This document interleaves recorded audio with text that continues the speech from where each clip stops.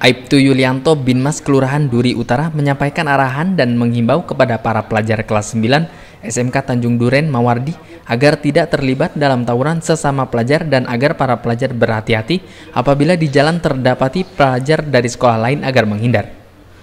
Karena jika terlibat dalam aksi tawuran maka sanksi yang akan diberikan adalah pencabutan kartu Jakarta Pintar atau KJP yang diperolehnya. Dan apabila terdapati membawa senjata tajam akan dikenakan sanksi undang-undang darurat dan mendapat hukuman kurungan penjara 3 tahun serta dikeluarkan dari sekolah.